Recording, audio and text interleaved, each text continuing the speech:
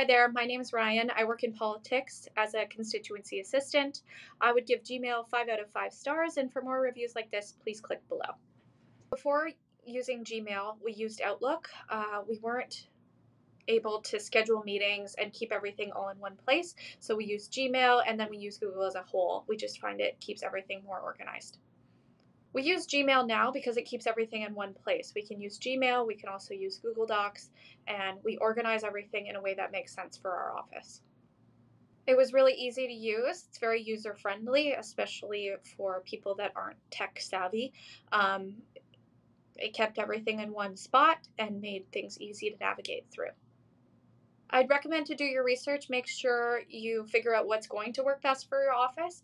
But uh, again, it is very user friendly, especially again for people that aren't tech savvy. So it was quick to learn, easy to use, and a long term use.